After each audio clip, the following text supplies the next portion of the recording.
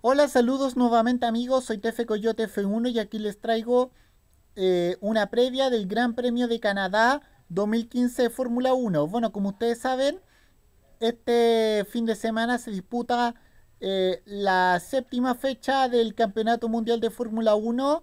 Se disputará en, eh, en, en Canadá y se disputará en Montreal en el circuito semicallejero Gilles Villeneuve. Recordemos que eh, se llama Gilles Villeneuve eh, en homenaje al fallecido eh, corredor canadiense que, como sabemos, falleció en un accidente de Fórmula 1 en el Gran Premio de Bélgica disputado en Solder en el año 1982.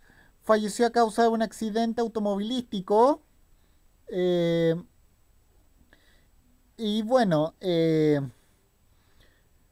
y además, esta es la primera fecha de la Fórmula 1 en esta temporada que se disputa em, en, América.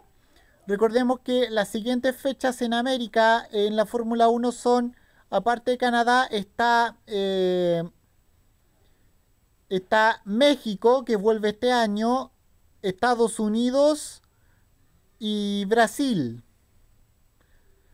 Eh, como sabemos, todo parte mañana con los libres 1 y 2.